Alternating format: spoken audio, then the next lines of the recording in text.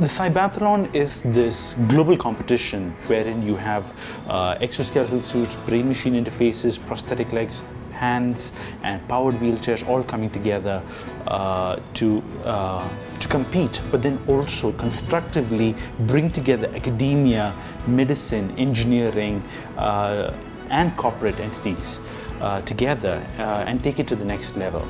We have been selected for the prosthetic leg uh, discipline and uh, of the 17s that have been selected, uh, we're the only team from India that made the cut.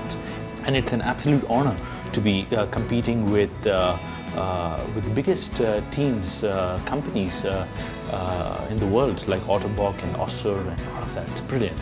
But then also make a point that here in India and in Asia too, we can make cost effective but yet high quality devices uh, that can genuinely empower uh, not just the users but even the people around them.